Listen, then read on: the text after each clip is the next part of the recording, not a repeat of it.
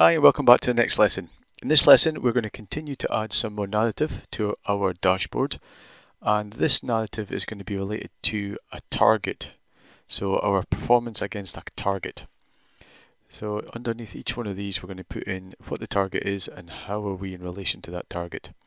So let's get started. So the first thing we need to do is actually create a new measure that is going to calculate the difference between the current value and the target. And in this instance, rather than use this data story, we're actually going to use a button.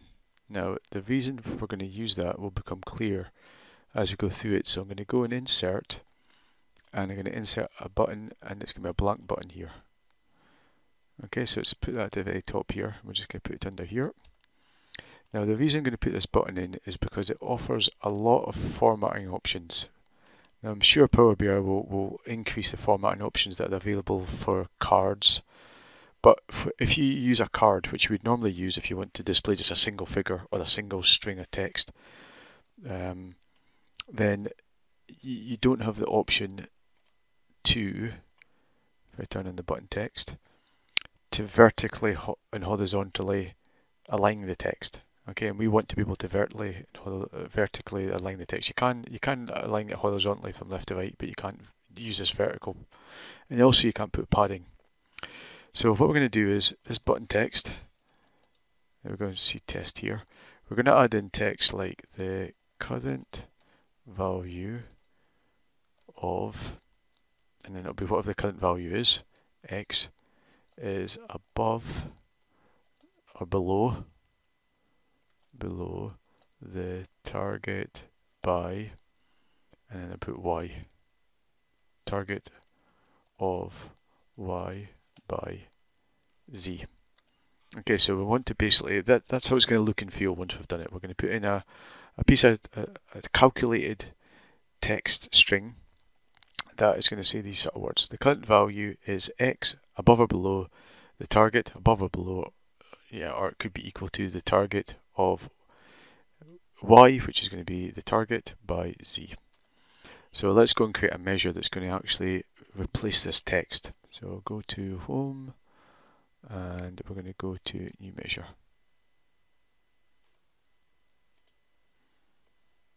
Okay, so this approach is a slightly different approach, like I said, where what we're going to do is rather than use the data story approach where we write a story and we use hashtags to place measures at specific places or specific um, holding points within that story.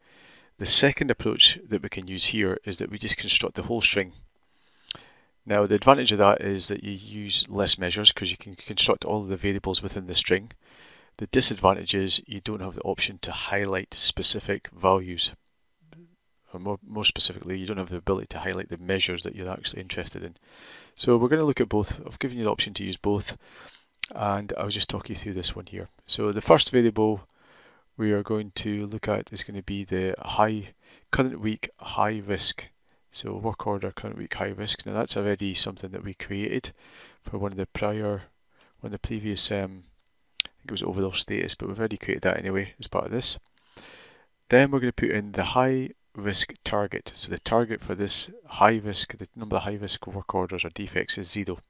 Okay, we've got a really kind of strict target here. We want to have zero high risk defects at our plant. The difference between the current week um, and the target is basically the current week high risk minus the high risk target. And then we're going to go and calculate the difference text. So that's going to be the text that's going to, going to be displayed explaining is it above or below the actual target. And we've got options here.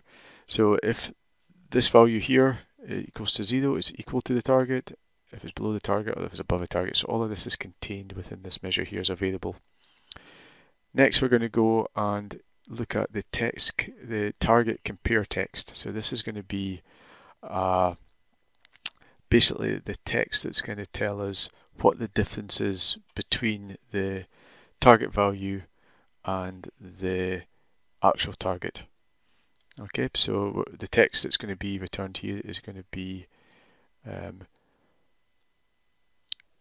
this one here, difference current week target, which is this value here, the difference between the current week and the target. is less than 0. So if it's less than 0, then the value will be by difference. Okay. Now, if it's equal to 0, sorry, less than, so if it's not equal to 0, it'll be by difference. Now, if it is equal to 0, it's going to return nothing. Okay, and I'm going to show you that in a second, how this works. So basically, we don't want any values to be returned if it's equal to 0. Okay, if the difference is equal to 0 if it's on target. Because there is no difference between the current and the um, there's no difference between the current week's value and the target value. And then we're going to go and construct a string. So the current value of, and then these ampersands is going to basically embed that measure within this string here. So the current value of current week high risk, so that's, that's a measure that calculates the high risk defects, is, and then we're going to put in the difference the target of, and then the high risk target and the uh, target compare text. Okay, so it's basically constructing a string that we're going to use here. Okay, the current value of something is above or below or equal to the target value of. Now, if it's if there's no difference to the, the current value, then this text here will be blank. Okay, so there won't be anything in here because there's no difference to actually um, to articulate. There's no point in articulating a difference of zero. Right, so let's add that in. It's just added it into this groups again, I notice here, so let's just quickly change that back to work orders. And we will minimize that. And what I'm going to do here is go in and rather use the button text as being manual text, I'm going to click on this FX button here and we're going to use a field value and the field value we're going to use to drive this text for this button is actually going to be the one we've just created. And so search for high text high risk current week versus target. Okay so here we can see the current value of 2 is above the target of 0 by 2 okay so that's exactly what it is. Now just to show you what would happen if the if it was on target, let's increase the target to whether we, uh, let's change the target to 2. Now if that target is 2, what we'll see here is the current value of 2 is equal to the target of 2. Okay, so there's no difference. It's, not, it's just basically the code within this measure has, has, has returned a blank value because there's no difference between the target value and the actual value. And therefore this value here is just not, it's just a blank, so nothing's actually displayed. And that's some of the considerations you've got to look at is the different permutations, if it's above or below, and make sure that it's, it makes grammatical sense, or at least as close to making grammatical sense as possible. Right, so now the reason I've, I've got this is because we also want to go in and do a little bit of formatting with this. So I want it to be right at the left hand side. I want it to be at the top.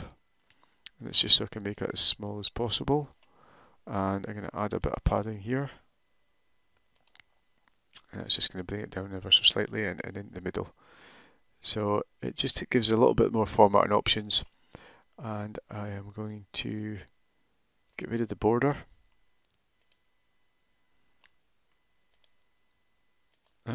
added on a border, it must have been something different, hold on.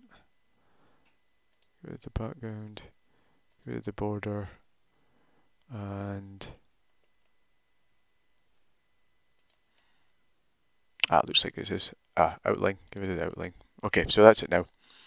So that's the first one we're going to create. It's basically just a, a bit of text that tells us the current value of 2 is above the target of 0 by 2. Now we also want to add a, a, some sort of indicator that's telling us that there's an issue here. Okay, because we're comparing the current value of a target, so if it's above the target we want a, an indicator to let us know that it is actually above the target. And that is what we'll cover in the next video.